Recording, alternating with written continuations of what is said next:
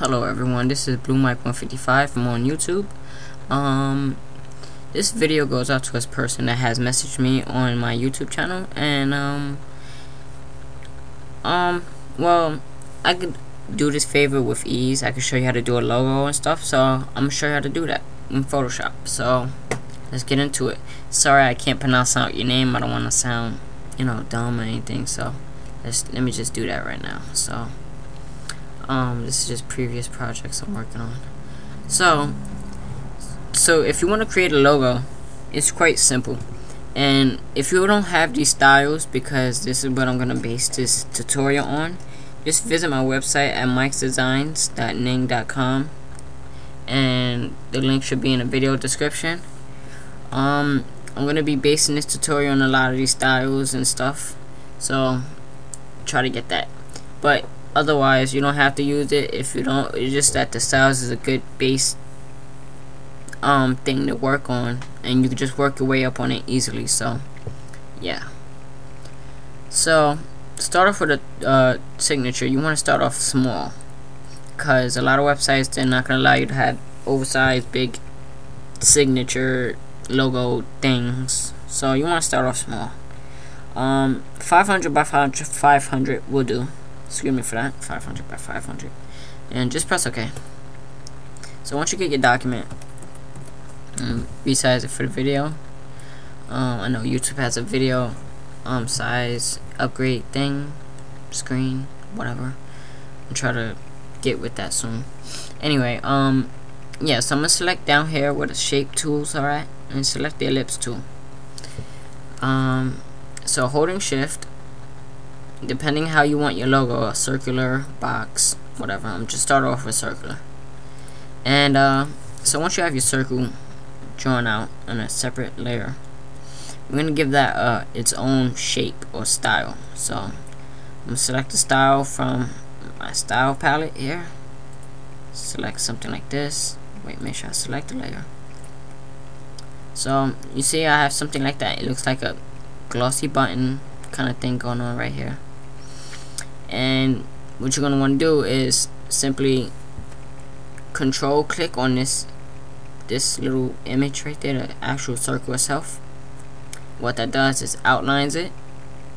And what you can do there is add another another um add anything you want into that circle. So I'm gonna make, I'm gonna make a copy of this style right here. And next I'm going to actually clear this layer style so. So it's a regular plain black and then I'm gonna choose another style on top of that.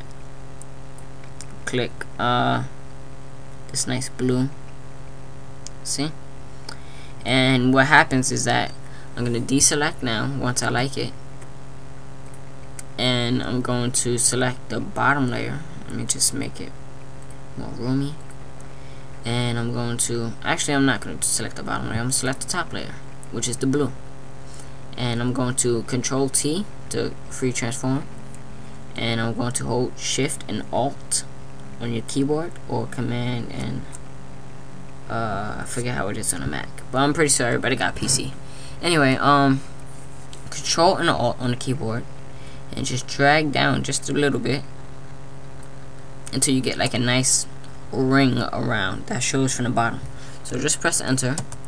So you kind of got a nice base going on, nice outline going on right there. And once you have that, you can um, simply add text to it. So I'm gonna add Mike to it. Mike. And Mike could be any kind of style you want to add to it. So you can also add another style to that text layer. So I'm gonna add a nice metal kind of thing. No, that looks ugly. Okay, so something something cool, something that stands out. Maybe black. So yeah, anyway, you get a nice black thing going on right there, right? So once you have that, you're gonna simply do the same thing you did with these two layers.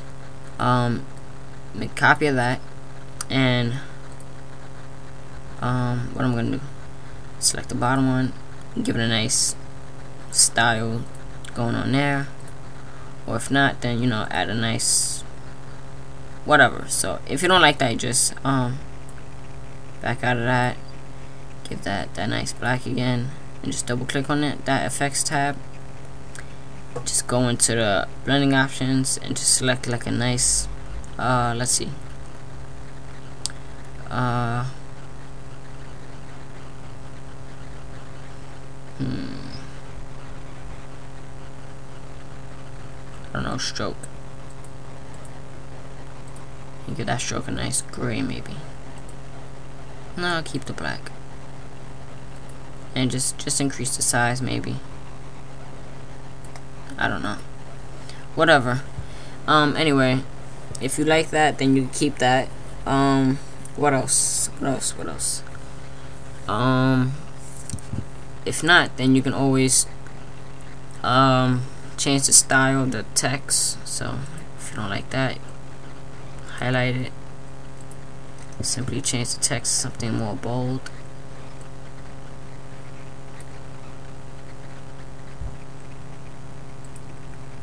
I like that one. Just change the size a little bit. Perfect.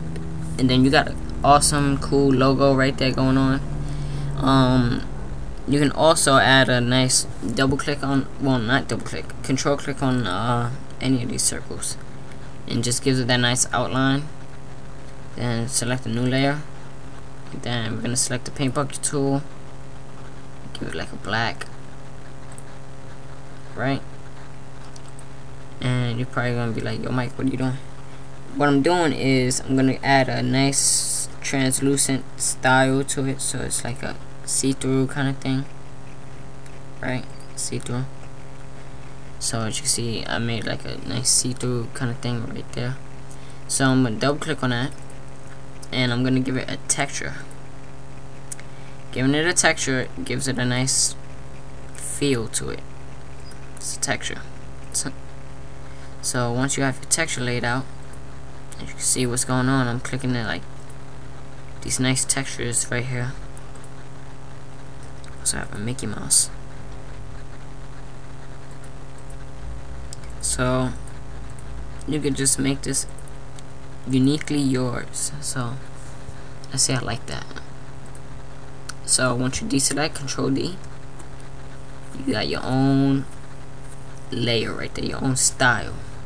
So I'm double click on the first layer because I want to give that a nice stroke, so can make it, you know, different give it a black and decrease the size to about two maybe three.